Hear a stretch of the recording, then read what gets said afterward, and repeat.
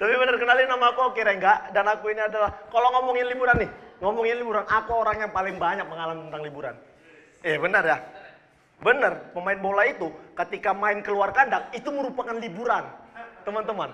Itu merupakan liburan karena kami datang ke kota baru dan destinasi yang baru. Ya tapi itu untuk pemain inti yang berangkat. Buat cadangan kayak aku ya alhamdulillah.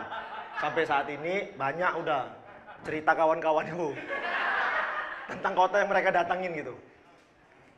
Bangsat.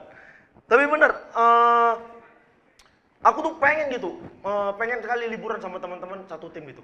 Dan apabila tim kami main ke salah satu kota yang destinasi wisatanya bagus, itu pemain rebutan tuh. Ini pernah tim mau tanding ke Bali. Wah gila, semua pemain nunjukin kemampuan terbaiknya gitu.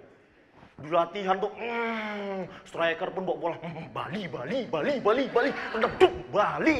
Coach, Bali coach. Oke, Bali. Back pun semua ditendang, duk, pawen, pak kawan, gawang semua ditendang, duk, Bali, Bali, Bali. Ya saya juga dong. Wah. Ku tangkapi semua, duk, orang lagi main pun ku tangkap, ku tangkap, keluar, keluar, keluar, keluar. Kayak satpol pp, ku tangkapi semua, tang, keluar. Dan akhirnya diumumin gitu. Pas mau berangkat, diumumin pemain yang berangkat untuk ke Bali adalah dibacain, dibacain. Gak ada juga nama gue. Ya namanya aku emosi gitu loh. Gak tahan aku. Di ruang meeting, aku gebrak meja. Coach! Gak berangkat lagi aku. berangkat ke Bali gitu. Ya rombongan satu tim. Begitu sampai bandara, kawan-kawanku naik bus, ku tanya sama coach.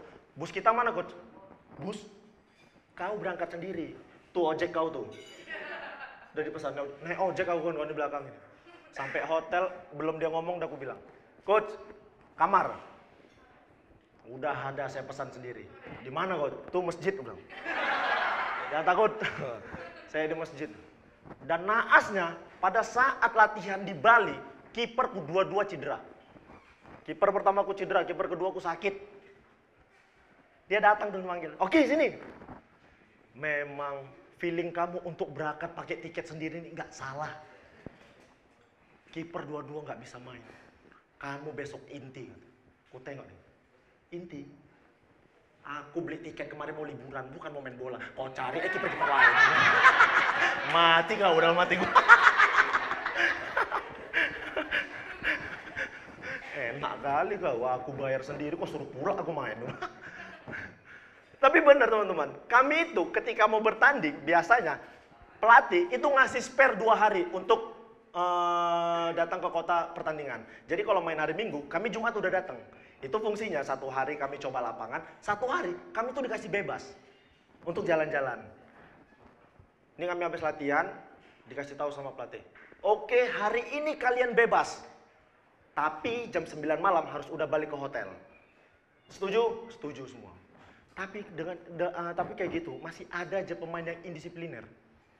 Ini udah jam 9 malam, yang lain udah balik. Ada satu pemain asingku nggak balik. Ya ini takut kan khawatir. Ya ini dia nyasar ke mana gitu. Ditelepon. Rodrigo, di mana kamu? Masih jalan-jalan coach. Ini sudah jam 9. Belum ah kata. Di mana kamu? Paraguay kata. Ih, ngapain kamu? Katanya bebas. Ini udah jam 9 malam. Di sini masih jam 4 ini katanya. Jadi gak balik kau. Tunggulah ntar lagi aku balik katanya. Jam 9 kan katanya. Kau balik habislah pertandingan katanya. Dan beruntungnya itu masih main di dalam kota. Ada beberapa tim yang dapat kesempatan main keluar kota sampai keluar negeri. Main di Liga Champions Asia, udah pasti mereka main ke lawan tim-tim yang ada di Asia. Misalnya Persija main lawan Jeddah FC. Hmm? Pemain Persija ke Mekah semua. Waduh ini kalian hari ini bebas jam 9 balik gitu.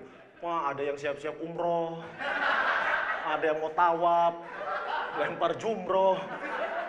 Jam 9 masih ada juga yang indisipliner, nggak balik juga. Ini asing yang tadi nih. Kau di mana? Paraguay lah coach. Kok di Paraguay kau? Nggak mungkin aku ikut umroh sama orang ini. Balik-balik ganti nama lah, aku jadi Abdul. Selamat malam saya Oki Rengga.